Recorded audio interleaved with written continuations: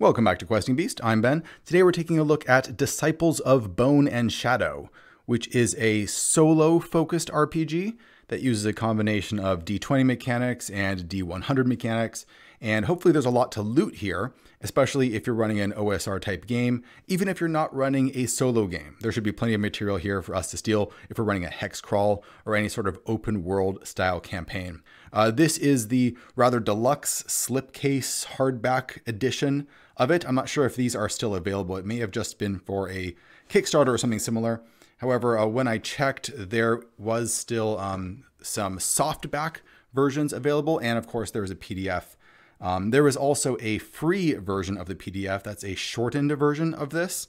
This whole book is uh, about 250 pages, but I think there's an abridged version that you can get uh, for free.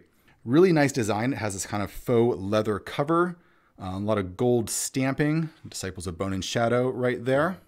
Nothing on the back, just the symbol for Black Oath, which is the publisher that puts this out. The slipcase as well, if you happen to get this version, is very nice, although it is oddly slightly too big for the book, but that's not really a big deal. What am I complaining about? Let's take a look inside and see what we get here. Some very grungy, old school illustrations right inside the front cover. And this is the Conquered Sun edition. That's the uh, really big deluxe version by Alex T. And this is copy 74 of 100. So I guess there wasn't very many of these made. Before we dig any deeper into this book, a quick shout out to today's sponsor. This episode is brought to you by One More Quest, a comedic dexterity based role playing game set in the world of Dungeon Fighter, now on Kickstarter. To take an action, you roll a die as close to the center of a target as possible, but with restrictions based on the kind of action you're attempting. Need to hide from a guard? Roll from under the table. Need to distract a monster that's about to blast your party? Do a spin before throwing. Includes 24 different throw restrictions, a travel guide, monsters, ancestries, classes, weapons, and adventure, everything that you need. Check it out on Kickstarter using the link below. All right, let's see what we get inside here. So here is our table of contents right at the beginning. There's a Game Master emulator, which is really important if you're running any kind of solo game. You got loot and gear, a whole bunch of different monsters, a location or a continent that you're exploring, and some starting scenarios. Some very cool illustrations here. The construction of the book is really nice. The paper quality is great. It's this kind of you know, slightly creamy color, uh, very thick. You can't really see through it at all. Uh, this is stitch bound. There is a ribbon. Really love the way that this is put together here. So the dice are going to be the standard dice that you're going to need for uh, D&D. When you're actually creating a character here, you're going to have your basic attributes, and those are going to be rolled with 3d6 as is traditional. However, there is also a skill system on top of that that uses D100. So it reminds me a little bit of things like RuneQuest or stuff based on the basic, uh, not basic fantasy, basic role playing system that's been out for a long time, and that it uses those two things. You start off with 250 points is what you can uh, spread among your skills, but no skill can start at higher than 50. Um, some skills by default start a little bit higher. So like one-handed melee starts out at strength plus dex. Um, so like an average is 10, right? So it's going to start out at around 20 and then you can raise it from there. Because I guess there's just some skills that are really important no matter who you are. And some are just going to start at zero and you have to level those up all on your own. There's also passive skills here. You can spend some experience points to level those up later to get some special abilities. And there's some archetypes here as well. So for example, you have an Acolyte, prerequisites, Constitution 14, Will 16, Charisma 15. So these would be pretty hard to get, at least initially. Um, and they give you some bonuses like max corruption is plus one. You start off with a special spell and so on. Uh, I don't know if you really need to use this stuff, um, but it's there if you want to kind of fit into an archetype. The, the general setting is very Stone Age. It's called Bone and Shadow. So you have a lot of bone weapons, stone weapons, uh, very primitive society, uh, very kind of sword and sorcery is the way, is the uh, feel that it gives to me. There's some advanced archetypes that you can fit into, much harder to get. You have character flaws, and these are mostly for flavor. So for example, absent-minded, you forget things like people's names or whether you met them before or if you fed your horse. And these can get worse and worse. Uh, advantages and disadvantages, something like uh, fearless. Maybe a witch told you how uh, how you would die. Maybe you've already faced death many times and come unscathed. No matter why, you've never feared death and have always faced it with a grin, not letting it stop you from achieving your goals. Advantages and you got some disadvantages, edges, mementos, got some starting equipment, and you got your basic core rules. It's simply a roll under system. So if your skill for hand to hand combat is 50, then you need to roll a 50 or less on a d100 to do things. In order to attack someone, you have to roll under the appropriate skill, but you are going to subtract your opponent's uh, defense ability number from your skill to make it a little bit harder. And it also works the other way around because everything is completely pair, uh, player facing, being a designed to be a solo game. So when you are under attack, what's going to happen is you're going to roll uh, underneath your defense skill, and that's going to be modified by your opponent's attack number. You have all your basic rules like critical success and failure, how to retreat, attacking a helpless target. Uh, this says if you're attacking someone helpless, you get plus 50 to the attack roll, which is pretty generous. I mean, I would go even more generous and just say that you shouldn't be rolling if you're attacking helpless characters, that you should just be killing them instantly. Um, but that is probably enough to kill most characters. You'll be you'll be rolling uh, a standard damage die to see how much damage you do if you happen to hit them. There is morale systems, which is really great um, because that's a major part of any combat that's going to take itself seriously. You should be able to frighten people off or have them surrender once you beat them up enough. Here's our magic system, a whole bunch of different spells that we can learn, and it runs basically off of corruption. So the more spells you cast, the more corruption that you're going to gain. And if you have too much corruption at any one time, then you're basically out of play. You're turned into a zombie or you're dead or what have you. You simply can't continue as a player character. Some spell examples we might have are Enthrall. So cost uh, two experience points and corruption level, I think is what CL stands for.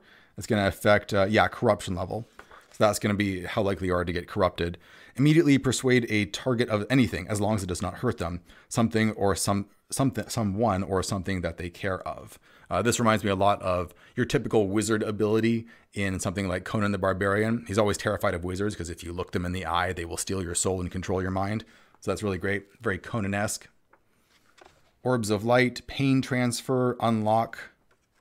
Lots of good stuff.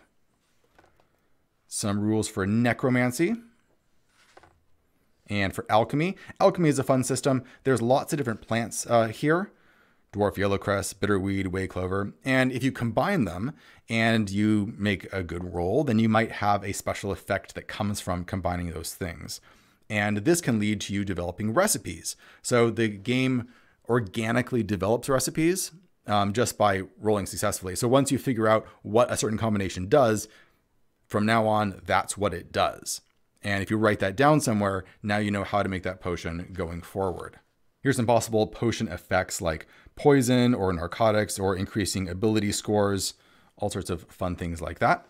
Exploring the world, you are going to be using a hex map to move around the world and filling things in as you go. Uh, one thing that was a little bit confusing is that there are some rules for exploring the world here, but a lot of the information that you're going to need to fill in the world is actually in a different section in the back where it covers the pre-built or pre-designed continent. It would have been nice to have everything in one place because it was a little bit confusing as I was reading this. I kept asking myself where the information was. Well, it's just it's somewhere else. There's a number of good random tables here to use. Travel complications, you got D10 of those, landslides, battlefields that you come across, overgrowth, restless deads. Uh, you got terrain types, wetlands, plains, hills, and so on. Uh, setting camp mishaps, plenty of good random tables to add variety as you travel around. I think my main criticism is that I would like even more of these. Um, there's mostly D10 tables, and I think if you explore enough, you're going to start getting repeats of these. Of course, you could just you know come up with variations on that to keep them fresh. But I would have liked to see more detailed random tables. When you don't have a game master and you're trying to do everything on your own, then you're going to need a lot of information provided to you by the game. And I think that this could have gone even further. Perhaps you could supplement it with something like uh, My Game Maze Rats, which has a lot of tables like that, or like the um, Tome of Adventure Design by Frog God Games. That's a great one as well. We have a sequence for how you do interior explorations, kind of a flow chart here. Start at the entrance, you come across a corridor or a door opening, and then you roll on the corridor table, roll on the exits table to see where you could go, any doors you come across, what's on the inside of that room. There's old tables for these, but like I said, they are actually in the back of the book. It would have been nice to have more um, page references to figure out exactly where these things are. Like if it had what page to turn to, that would have been really cool. Some different entrances that you could have here, different types of doors. And of course, you got things like uh, corridors, you got different types of traps, artifices, uh, different effects. So you have weird tricks and traps. Uh, you got a settlement generator, some ra- random settlement effects, some pickpocketed items if you try and steal things from people, because everyone loves to do that. Human encounters, plenty of different NPCs with descriptors, genders, uh, if they're hostile, if they're neutral, what their motivations are. Lots of good stuff like this. You can combine these two tables together, which is nice. So, for example, their motivation could be to uh, guard roll something over here. Uh, guard chaos. Maybe they're a servant of chaos and they want chaos to win. By combining these two, you can get interesting ideas. Some of them are a bit incoherent, but it's not a big deal. You can use a lot of free form association to figure out what they mean in your own head. Some advanced rules here how to track provisions and starvation, weight and encumbrance. It does use gear slots, which I think is really smart because that's a really quick and easy way to track how much you are carrying. Here's a page of some sellswords or some support characters or NPCs that you can pick up to help you along. Probably going to be smart as in a solo campaign, you are just by yourself and death can come swiftly. You're going to want either backup characters or a whole bunch of support to help you take out tougher foes. This section is on Game Master emulation, and the main thing here is that it has an augur table that helps you decide what happens when uh, something is questionable. When you're starting your first scene, you can use a table like this to just kick you off and give you something to work with. For example, you could have uh, a location that's under assault, or a player character that has just died, or perhaps an encounter that has become friendly. And it just gives you a starting point.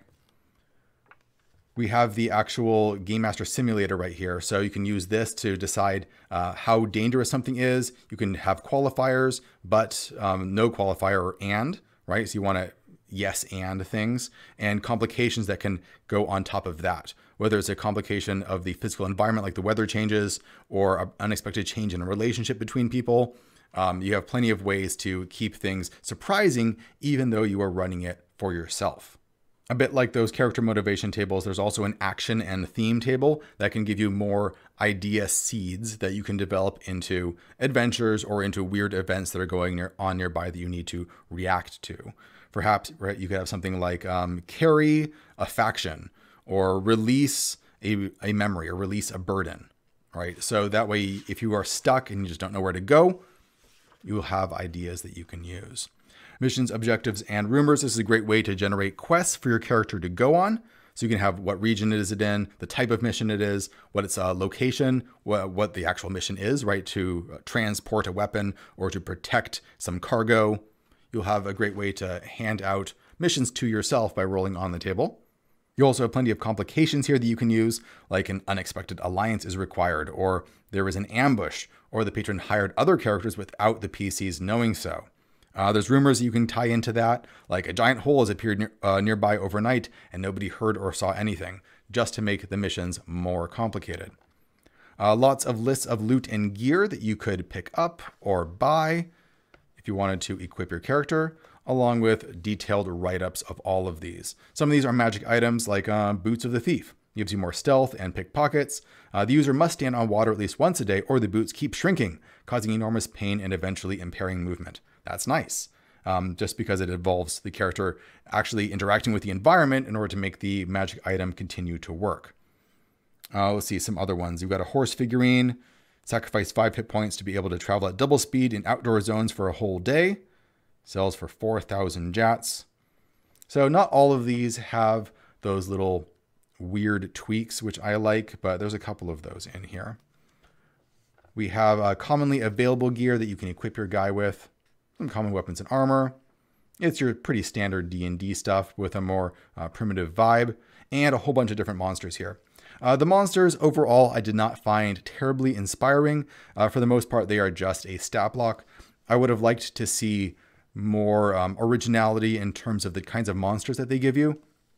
especially when it comes to uh, special abilities that they have, weird monster effects, motivations, and so on, uh, to get the players more invested in figuring out how to defeat these enemies and figuring out why they're there and what they're up to. Near the back, we have the White Teeth Peninsula, and this is all set on a planet that is tidally locked which means that you are living in a realm of perpetual shadow because one side of the planet is facing the sun and is always burning hot, and the other side is facing away and is frozen cold. So, only in this narrow strip, strip between the light and the dark are you going to find habitable zone. Uh, so, the entire adventure takes place in a kind of perpetual twilight, which is a fun uh, little twist on this kind of setting. It implies a kind of sci fi setting as well, that perhaps humans traveled here and colonized this planet long ago, and now they've reverted back to barbarism. I like that mix of sci fi and fantasy. Each of the main regions shown here on the White Teeth Peninsula is given a bit of a write up later on. Um, however, there is not an actual hex map put onto this. There's a hex map in the back that you can use and you can fill it in as you go. Um, it would have been nice to have it actually on here so you could travel from one place to another, um, but that's not the exact way that it's laid out. So we have the Everscar Highlands, for example. Great, short, punchy little write-ups, enough information that you can imagine what's there and you can figure out the kinds of encounters you would have without going on and on, because most people don't like to get into super detail on game lore. It's just, it flows right out of your head. People are going to be much more engaged with the material that they encounter and they have to deal with in the game. Each region has a D20 table that's going to give you stuff that you can find there. Uh, each one represents basically a hex or a uh, type of event that's going to be going on there for you to deal with, like a pilgrimage or a magic dead zone, a rock slide. So this is for the Everscar Highlands, whereas the Akar Strand has things like a nest or an open burial site or a pool of liquid metal.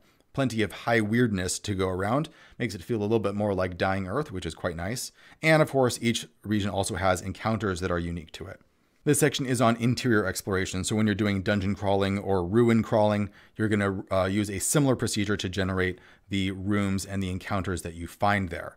We have tables for caves, cave encounters, uh, cave and ruin ecology. So vermin, uh, common human foes, elite foes that you might run into. And at the end, we have some scenarios. Uh, the scenarios are, well, they're there, but really I think the big selling point for this is going to be the open world generation. Uh, whereas running through these kind of pre-built adventures are going to be, I think, less interesting, at least for me. I really like to see my world evolve naturally as I take it on, because that's what this book is all about. It's all about procedurally generating a world and adventure as you wander around a hex map, trying to overcome monsters and getting experience points. One really nice thing is that at the back of the book, there is an extended gameplay example. And this is the sort of thing that I wish a lot more RPGs would do because you have a, a, whole bunch of rules and examples and procedures in the first half of the book. And it's very hard to fit all of those together into your head to figure out what exactly is this game like? What is a session like? What, what am I thinking about as I play? And this actually runs you through it for a number of pages. So that is really great. And more RPGs do that because it is in some ways better at teaching the game than reading all of the rules. There is a character sheet at the back of the book. It looks really complicated, but it's really not. You just have your ability scores there and your skills. That's basically it. You can write down any passive skills here. Equipment just goes here. All of these are uh, scenes that you can um, write out as you encounter them because you are writing this for yourself. And you have like twists that you can put into there and characters that you've run into, story arcs that you're working on if you want to do that sort of thing. And this page is really cool. It's basically a recipe book because as you're randomly generating those potion recipes, you can write them down right here. I think that's really fun. There are some uh, graph paper and some notes that you can keep track of, right, for figuring out dungeons, because the dungeons are kind of randomly generated as you explore them. And we have a hex map here you can photocopy and I suppose fill in with the different terrain types and encounters as you explore. All right, that's it for Disciples of Bone and Shadow, the Conquered Sun edition. Seems like a really great addition to someone's library, especially if you like solo role playing or if you want generative tools for making this kind of um, low fantasy sword and sorcery type world. As usual, links will be in the description below for you can pick this up in PDF or in paperback form because I don't think the hardback is still available, although who knows what will happen in the future. Before we go, though, quick shout out to some of our new patrons that have joined us on Patreon in the month of January. These patrons include Spencer Shields, Bobby Bingle, Benjamin Peters, FR, Iniquit, Joseph Lucas, Advik Goel, Alice Dare, Eric Hanscom, Dor Perkins Dearborn, Julian Mondoloni, Craig Chouraki Lewin, Blackbeard, John Finnegan, James Holton, Jack Sundin, Cogspace, Carl Einar Oslin Kvist, Mexiteki, Justin Toth, Esteban A. Olivares, Przemysław Sellenberger, Tom P., Christian McCallahan, Laszlo Varga, Lasagna Druid, Joe Arconi, Simone Canola, Eric Tanberg, Dan Ebert, Pierre Vochel, Samuel Tewksbury, Liam Thompson, Bodie, Daniel Bennett, Guporu, Matt Johnson, Parker Temple, Seb Jones, Nate W., Samuel Henderson, Martin Orchard, Connor Shartle, Hank, Dylan McChrystal, Nicholas Tucker, Drew, One Eyed Man, David Grubbs, Marco Serrano, John Snow, Robert Wyssbrod, Glenn the Fossa, John Mahoney, Michael Petschuk, BL, David Whitaker, Nick, Omar Marquez, Jesse Erdman, Richard Asensio, Gabe Gamer, Eric Ackerman, Cam Grilly, Jacob Bollinger, Kevin Zhang.